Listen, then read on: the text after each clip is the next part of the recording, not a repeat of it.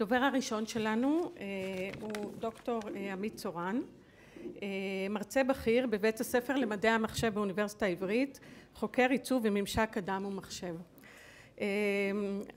דוקטור צורן גורס כי הקשר בין צורה וחומר חוזר שוב לרעיון למרכז הדיון העיצובי. הוא מאלץ אותנו להגדיר מחדש היבטים של סגנון אישי ותוכן אסתטי. צורן יפרוס בפנינו את האתגרים המהותיים בחקר יצירתיות בסביבות בהן טכנולוגיה אחראית על היבטים רחבים יותר ויותר של התהליך היצירתי. בבקשה, עמית צורן. אהלן, אז כמו ששלומית אמרה, אני עמית צורן. יש לי מעבדה לעיצוב ולממשק אדם מחשב באוניברסיטה העברית. הרקע שלי זה גם הנדסה וגם יש לי רקע בעיצוב תעשייתי. ולמעשה הדברים שאני חוקר באוניברסיטה הם הקשר בין בני אדם וטכנולוגיה בהקשר הרחב, גם טכנולוגי וגם יותר אנתרופולוגי ועיוני. מה שאני אעשה במצגת הזאת, אני אתחיל קודם כל לספר לכם מה קורה בעולם של מדעי המחשב בהקשר של חומר. ואז אני אעבור לביקורת על הדברים האלה, ובסוף אני אציע איזשהו פתרון שקשור גם למחקר שלי. אז בואו נתחיל, יש כמה הקדמות תוך כדי המצגת. נתחיל בהקדמה הראשונה, שמציגה לנו את הנושא של חומר דיגיטלי, או בכלל העיסוק בדיגיטליזציה של חומרים. אז קודם כל, מחשבים מאוד מאוד טובים בחזרתיות.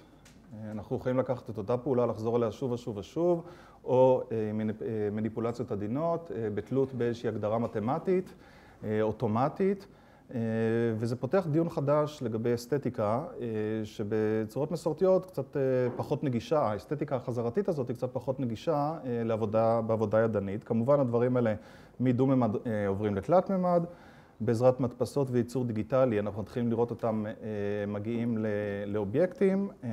בארכיטקטורה האסתטיקה הזאת קיימת כבר לא מעט שנים. ואחד הדיונים המעניינים שמתקיימים היום, ואני מניח שהקהל חשוף לנושאים של הדפסה תלת-ממדית לדוגמה, או טכנולוגיות דומות שמאפשרות לקחת רעיונות שנוצרו במחשב, תכנונים שנוצרו במחשב, ולהעביר אותם לחומר. אני רוצה פה לספר לכם מה למעשה מה עומד בחזית המחקר בתחומים האלה, ולמעשה זה מחולק לשני כיוונים שונים. הרעיון הוא, ראיתם את טרמינטור? טרמינטור 2, יש שם רובוט שנוזל, יופי. המושג הזה של חומר שמשנה צורה ואפשר לתכנת את הצורה הזאת, אנחנו קוראים לו Programmable Matter, חומר מתכנת. החזון של חומר מתכנת, הארכיטיפ של חומר מתכנת, קיים בתודעה המערבית עוד מאלכימיה ועוד מלפניה, הרעיון שאנחנו יכולים לצוות על חומר לקבל כל צורה. ולמעשה יש לא מעט חוקרים שמתעסקים בדברים האלה. עכשיו, הרעיון הוא שיהיה חומר מסוים, אולי נממש אותו בשיטות ביולוגיות, אולי בשיטות אחרות, נעביר לו איזשהו סיגנל והוא יקבל את הצורה. נעביר לו סיגנל נוסף והוא יקבל צורה אחרת. זו הדוגמה למעשה שאני, יש פה בסכמה הירוקה מצד, מצד ימין. הדבר הזה עדיין לא כל כך, אנחנו לא קרובים לזה, אבל הרבה חוקרים מתעסקים במשהו לא רחוק. תפיסה של assembly ו-disassembly, מה זה אומר? זה אומר שבמקום להדפיס משהו במדפסת תלת-ממדית, אולי נרכיב משהו כמו לגו, ונוכל גם לפרק אותו. רק שיחידות הלגו יהיו נורא נורא נורא קטנות. כל יחידה יהיה לה יכולת חומריות אחרות, אחת תהיה גמישה, אחת תהיה נוקשה, אחת תוליך חשמל, אחת לא תוליך חשמל, אחת תוליך חום, אחת לא תוליך חום, אבל הן פיציות. כלומר, יש איזושהי דואליות בעניינים האלה בין אינפורמציה דיגיטלית לבין אטומים של חומר. האם אפשר לשלוט באטומים של חומר על ידי אינפורמציה דיגיטלית ולקרוא לביטים אטומיים ולאטומים ביטים, ובצורה הזאת להרכיב דברים שהם יכולים להיות כל דבר, לפרק אותם וכיוצא בזה על ידי מכונה שאנחנו קוראים לה assembly. זה למעשה, הנושאים האלה הם הנושאים שמובילים חלק גדול מהמחקר בעולם הייצור והעיצוב הדיגיטלי. ובעולם שטיפונת יותר קרוב אליי, יש לא מעט עיסוק באיך נראה אינטראקציה עם טכנולוגיות או עם אובייקטים או עם חומרים קשיחים שמשתנים ויכולים להשתנות כל הזמן. אני רוצה להראות לכם סרטון קצר, סרטון שמה שהוא מנסה לעשות זה באמת לדון באיך נראית אינטראקציה עם שולחן רהיט בעל דרגות חופש גבוהות.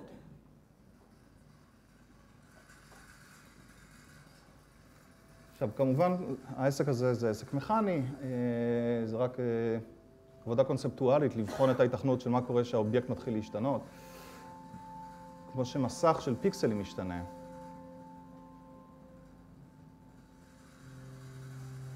זו עבודה שנוצרה בקבוצה של הירושי אישי ב-MIT Media Lab, אני גם עבדתי על השולחן הזה, זה פרויקט של חמישה אנשים.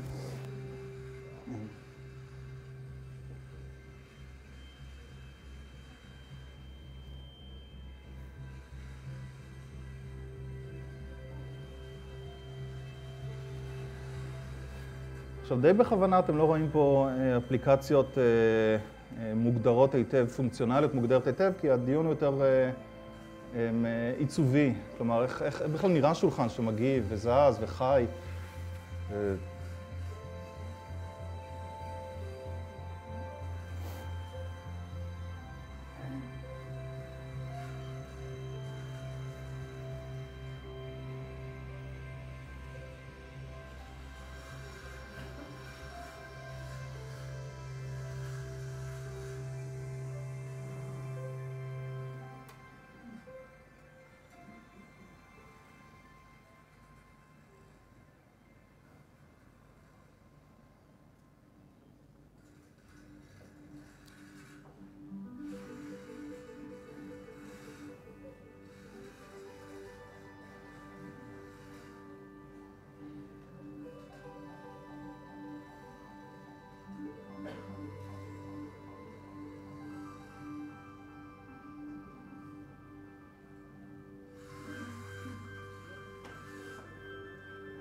מישהו ראה פה את הסרט הזה?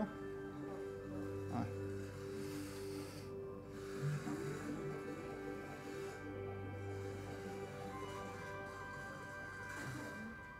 טוב, בואו נחזור למצגת, זה נמצא ביוטיוב, השולחן הזה נקרא טרנספורם, אתם מוזמנים לחפש, יש הרבה חומרים עליו. טרנספורם. הנה, זה הפרופסור שאחראי על הקבוצה, ויש לכם פה קצת פרטים. אמ, אז זה פחות או יותר סקירה נורא נורא נורא אמ, שטחית על נושאים חמים בעולם של, שקשורים לחומר ובעולם של המחשבים. אמ, אבל פה אני רוצה לעבור למבוא אה, חלק 2, להתחיל לדבר על ביקורת של הפרדיגמות הללו. נתחיל עם איזושהי עבודה שאני עבדתי עליה. אה, גרושתי אה, סיימה צורפות בבצלאל, והייתה אוהבת לעשות אה, תכשיטים מחוטי כסף תוך כדי אלתור. אוקיי, אתה משחקת איתה, משחקת איתה, מגיעה לצורה שהיא אוהבת, ואומרת, אוי, אני נורא אוהבת את העבודה הזאת. אנחנו רואים את הטבעת מספר A ואת הטבעת מספר D, זה עבודות שלה שנוצרו באלתור, והיא אף פעם לא יכולה לחזור לעשות אותן שוב, אבל היא איבדה אותן. איבדה אותן, והייתה מאוד עצובה.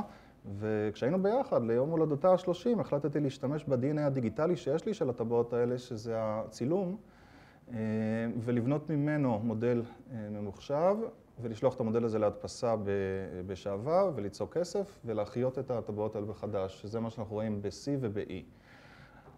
אבל מה? יש חיסרון מהותי בתהליך הזה, בגלל שמעכשיו הסיפור שסיפרתי, על אה, תמר יושבת ומאלתרת ומגיעה לאיזשהו פתרון, אה, מאבד את ערכו.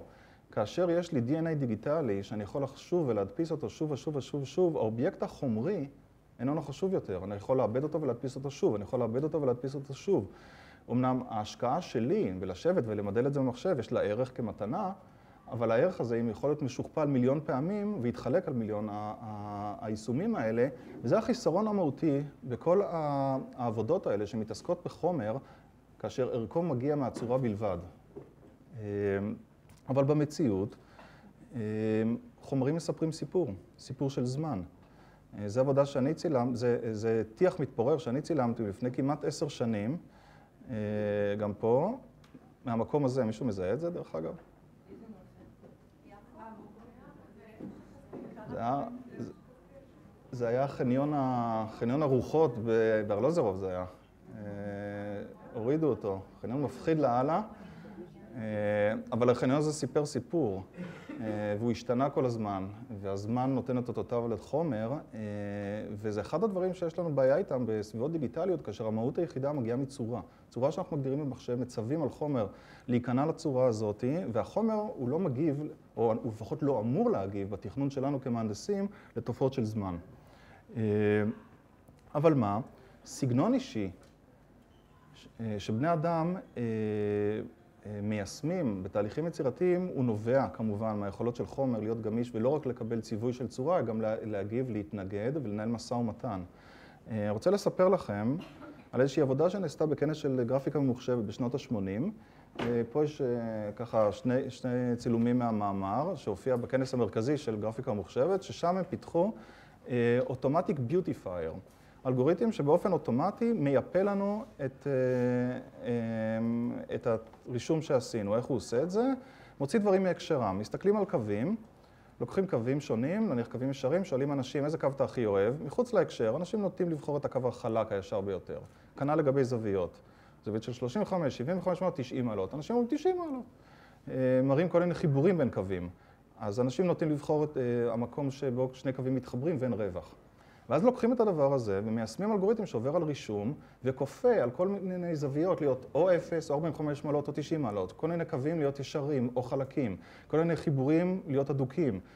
ומחליט שככה אנחנו מייפים רישומים. בן אדם עושה איזשהו רישום, מעבירים את זה לאלגוריתם והנה יש לנו יופי.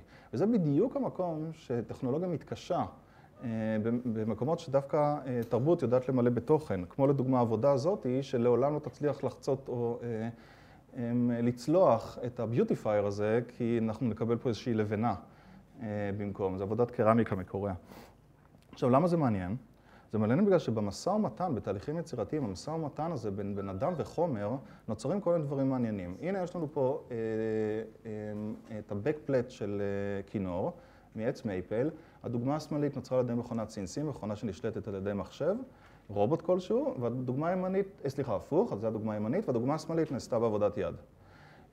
אפשר להגיד, הדוגמה הימנית היא מושלמת, והדוגמה השמאלית היא לא מושלמת, ואם אנחנו מחפשים שלמות, יכול להיות שאנחנו מרוצים, אבל אנחנו לאו דווקא מחפשים שלמות.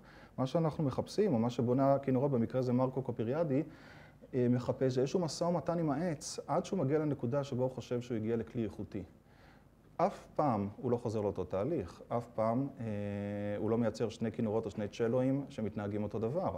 כי עץ הוא לא הומוגני, כל עץ מתנהג בצורה שונה, והזמן נותן את אותותיו עליהם בצורה אחרת, והמשא ומתן הזה בין בן אדם והחומר, שבו הסובייקטיביות והאישיות של הבן אדם משפיעים על התוצר הסופי, הוא המשא ומתן שיוצר תרבות ויוצר אה, עבודה אסתטית ועבודה ערכית. ומחשבים לפעמים יודעים נבוכים על הדבר הזה. כל מה שאנחנו יכולים לעשות עם מחשבים זה להגדיר להם צורה, גודל, יעילות וצל הדרך. עכשיו, זה מוביל אותי למעשה לדיון טיפונת יותר עמוק על תהליכים יצירתיים. פה יש עבודה שאני, תמונה שאני צילמתי בנמיביה, בן אדם מפסל בחתיכת עץ ליצור את העבודה הזאת. כמובן שדיון על שלמות לא רלוונטי פה, פה יש לנו דוגמה אחרת. הדיון היותר רלוונטי בדברים האלה זה ההתאמה בין היכולות של הבן אדם, בין הסובייקטיביות שלו, לבין נקודת ההתחלה, חומר גלם שנתנו לנו. ודווקא חוסר השלמות, ודווקא הסיפור שהחומר נושא איתו, זה הפוטנציאל המעניין ביותר לתהליכים יצירתיים. ראיתם את מיינוריטי ריפורט, דוח מיוחד? נכון, יש שם איזושהי אמירה, אני לא זוכר אותה בדיוק, שאם יש איזשהו באג במערכת, אז הבאג הוא אנושי, נכון? אבל צריך גם לזכור, אם לא היה באג אנושי במערכת, לא היה סרט ולא היה סיפור. בגלל זה אנחנו מספרים את הסיפור הזה. וזה בדיוק, אחד הדברים שמחוללים תהליכים יצירתיים, זה בדיוק גם הסיבה שהרבה מעצבים תעשייתיים או ארכיטקטים מתחילים תהליך עם עיפרון ונייר, בשביל ליצור איזשהו חיפוש בלתי תלוי, אינטואיטיבי, בין בן אדם, חומר ותהליך, עד שאנחנו מצליחים למצוא איזשהו כיוון, ואז לפעמים אנחנו עוברים לייצוג יותר אנליטי, שזה המחשב. עכשיו, אני לא בא לתקוף פה את הייצוג האנליטי, אני רק בא להגיד שבעבודה אינטימית, engagement, בין אדם וחומר, כאשר התהליך הוא לפעמים unpredictable, בגלל שאנחנו שמים את עצמנו כבקר של התהליך ולאו דווקא איזשהו סוכן אוטומטי, קורים דברים. והדברים האלה הם הדברים המעניינים והם הדברים הערכיים שסביבם אנחנו מייצרים משמעות תרבותית. הדבר הזה נוכח בכל התרבויות. דוגמה, אנתרופולוגים מתעדים, שזו תמונה שצולמה בטנזניה, בחבורה של ציידים לקטים, שההדזה קוראים להם, שכל צייד יש לו את החצים שלו, ועליהם הוא מסמן איזושהי חתימה של pattern מסוים, כדי לדעת איזה חצים שייכים למי. אין הנחיה, כל אחד מאלתר, אבל אתה רואה סגנון אסתטי עשיר מאוד, שעוזר לאנשים ליצור איזשהו קשר אינטימי עם ה craft שלהם, וגם בעזרת הדברים האלה הם יודעים גם מי, איזה חץ של, חץ של מי פגע בחיה, ולכן מי אחראי לחלק את הבשר. ההקשר הזה, ההקשר בין תרבות, בין הישרדות, בין סגנון, קיים בכל התרבויות, אבל עומד במבוכה קצת אל מול התיעוש ובמבוכה כפולה אל מול המחשוב. שמביאים לנו שגשוג טכנולוגי, אבל מתקשים לספק את הדברים האלה. עכשיו, מה שאני עושה במחקר, במחקר שלי באוניברסיטה, זה לנסות לשאול האם יש קשר בין הדברים, האם אפשר לגשר לדברים, האם אפשר לגשר בין חוסר בסקיל אל רצון לסובייקטיביות. כלומר, נניח אני יוצר מסוים, נניח אני חי בעידן המודרני ואני לא הולך להשקיע עכשיו עשר שנים בללמוד לגלף, אני, אבל אני שולט במחשב, אני רוצה לתכנת את המחשב להדפיס עבורי איזושהי צורה. האם זה בהכרח אומר שאיבדתי את האינטימיות בתהליך, שאיבדתי את היכולת לאלתר תוך כדי תנועה, שאיבדתי את היכולת להיות לתהליכים שמעמידים אותי באיזושהי רמה גבוהה של engagement או או של חיבור לתהליך לא רק בצורה אנליטית, אלא בצורה גופנית כוללת, ומאפשר לי ליצור עבודות שהן לא תמיד צפויות. האם אפשר בכלל לעשות דבר כזה? האם בכלל אפשר, אפשר לקבל הכוונה מאיזשהו agency דיגיטלי בלי לקחת ממני את השליטה המלאה בתהליך היצירתי? עכשיו, אני רוצה פה להבחין ולדייק את מה שאני אומר, כי זה חשוב. אם אנחנו מעצבים במחשב ושולחים את זה למדפסת, אז בסדר, אפשר להגיד, השתתפתי, נכון? הצבתי במחשב, מה אתם רוצים? אז אני עשיתי את זה, זה לא המחשב. אבל כמו שהראיתי לכם על האוטומטיק ביוטיפייר, יש די הרבה מחקרים במדעי המחשב שמנסים לחלץ אסתטיקה מההקשר שלה, להסתכל איזה כיסאות איקאה מכר בשנה האחרונה ולכפות את זה על ידי אלגוריתם על תוצר. כלומר, אנחנו לא צריכים לעצב יותר, אנחנו אומרים מה זה כיסא מבחינת משקל, גובה, ונותנים לו עכשיו לעשות את זה יפה. זה תהליך מסוכן, וזה התהליך שאני מנסה לבקר. דבר נוסף, גם אם אני עומד מול מחשב ומתכנן משהו, צריך להבין שרק ספקטרום יצירתי מאוד מאוד מסוים בראש שלי הוא חלק מהתהליך. לא הספקטרום שנובע מחישה בלתי אמצעית של הגוף, כלומר, יש דרכים שונות ליצור, ומה שאנחנו מנסים לשאול זה אם אפשר לבנות מערכות דיגיטליות שלוקחות את כל היצירה האנושית הזאת בחשבון, ולא רק אלמנטים אנליטיים או אוטומטיים שלה. אז פתרון אחד, הפתרון הטריוויאלי, זה ליצור שילובים. אוקיי? כמו לדוגמה איזושהי סדנה שעשיתי במיין בשנה שעברה, הדפסת תלת מימד, אלמנטים שתוכננו במחשב, הודפסו בתלת מימד, אבל אז מוטמעים מחוץ להקשר המקורי באיזושהי עבודת, עבודת יד. זה פשוט פרויקטים של סטודנטים. או כיוון אחר, זה פרויקט ראשון שיצא מהמעבדה שלי באוניברסיטה, של תמרה אפרת ומורן מזרחי, שתי סטודנטיות. תמרה אפרת היא בוגרת שנקר באופנה, טקסטיל, ועשתה תואר שני בבצלאל, ומורן מזרחי מתמטיקאית מדעי המחשב. יש לנו פה patterns שתוכננו במחשב. זו עבודה שמיועדת לאנשי craft, כלומר לא לאנשים שעובדים במחשב, ואחד הדברים שאנחנו מנסים לראות פה, האם אפשר לקחת patterns שמתוכננים במחשב ולהנגיש אותם לאנשי craft, שאז ישלבו אותם באיזשהו עיצוב וימשיכו משם קדימה.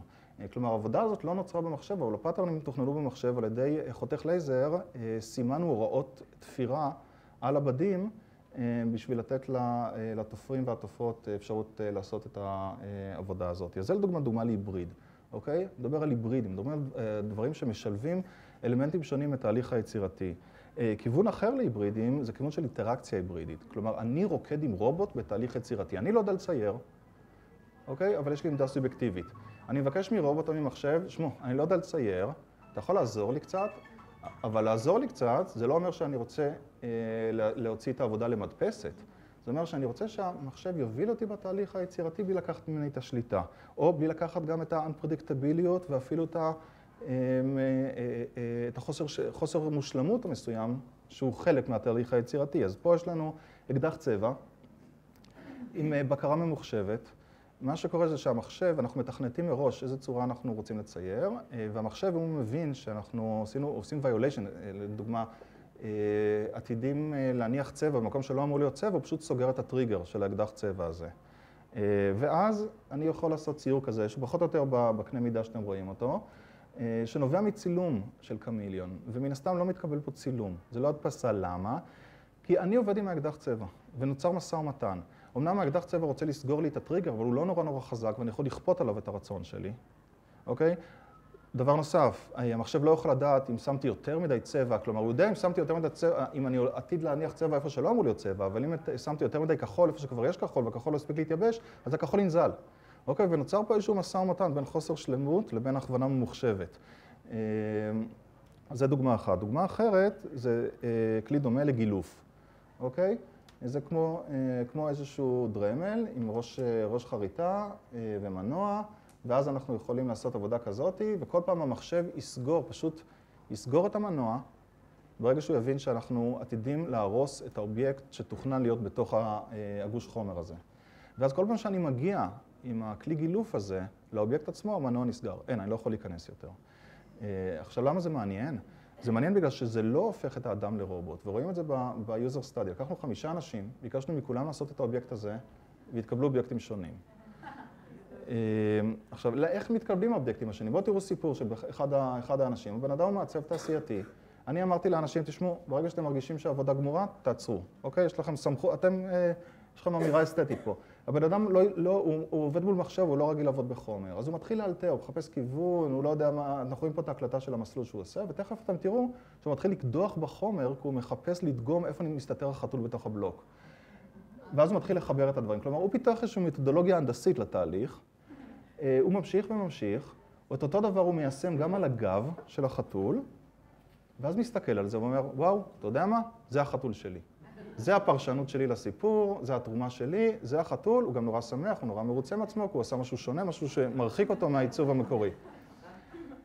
אבל זה תהליך שגם אם הוא היה יושב שנתיים מול המחשב, הוא לא היה מגיע אה, לאותו תוצר, בגלל שהוא נובע מההתמודדות הפיזית של הגוף ושל החוסר בשליטה מוטורית בתהליכי גילוף, ומאפשר לו ליצור דבר שכזה. עכשיו, מה מעניין? לקחנו את כל המסלולים האלה, כמו שאתם רואים משמאל, את המסלול שהקלטנו, והרצנו על זה כל מיני אנליזות מתמטיות, לנתח סגנונות שונים. ויש פה את חמשת האנשים, ציר הזמן, מצד שמאל זה פשוט אינטגרציה של כל הסגנונות השונים, של טכניקות שונות שאנשים משתמשים בהן. מה זה טכניקה? עבודה מהירה, עבודה איטית, כל מיני סגנונות להחזיק את הכלי, ואנחנו רואים שאנשים משתמשים בטכניקות שונות לחלוטין. אבל מה יותר מעניין? זה שיש קורלציה בין תיק העבודות הידני של חלק מהאנשים, כשהם למדו עיצוב שנים לפני ה-user study הזה, לבין התוצרים הסופיים. קחו לדוגמה את הבחור שהראיתי לכם. הוא נורא מופתע מהתוצר שלו, אבל תיק העבודות שלו, כשהיה סטודנט לעיצוב בריסדי, מלא בעבודות נורא דרמטיות כאלה, נורא אוהב את המקומות הדרמטיים. אבל כשאני מראיין אותו, מאיפה הגיעה הפרשנות הזאת, הוא מספר לי, לא, כי לא מצאתי, כי לא הצלחתי, החתול, החתול. ואותו דבר מגיע בשאר המקומות, שמה מה, מה אני מנסה להגיד בזה? סגנון אישי הוא לא תמיד דבר מודע. כלומר, סגנון אישי זה דבר שמוטמע בתהליכים מוטוריים ובהרבה דברים שהם המאפיינים האישיותיים שלנו, ולא ולא, לא כולם אנחנו יכולים לפרוס עכשיו בצורה אנליטית מה גורם לי לעשות דבר כזה או אחר, מה גורם לי ללכת מפה לאוטו בצורה כזאת ולא בצורה אחרת, ללכת למדרכה הימנית ולא למדרכה השמאלית. זה חלק ממי שאנחנו. כשאנחנו גוזרים את זה ומסתכלים רק על אלמנטים אנליטיים, כלומר, שמים בן אדם מול דף או מול מחשב ואומרים לו, איך נראה חתול? בן אדם נותן תשובה מסוימת. אנחנו נותנים לבן אדם פלסטלינה ואומרים לו, תעשה חתול, נוצר חתול אחר. אחד הדברים שאני עושה במעבדה שלי זה באמת לחפש את השילובים האלה ולהסתכל על הדרך. פה אתם רואים את המסלול, הקלטה של המסלול, בחלק מהאובייקטים האלה שיצרתי. פה זה הרצוי מול המצוי, התוצר הסופי מול הרפרנס המקורי, או טירה שגולפה עם המסלול מולבש אליה, ואיזושהי קריאה לפתח יותר ויותר כלים שלוקחים בחשבון תהליך וסגנון ומעורבות אישית, גם בעולם של חומרים חכמים וסביבות נשלטות בצורה דיגיטלית. זהו.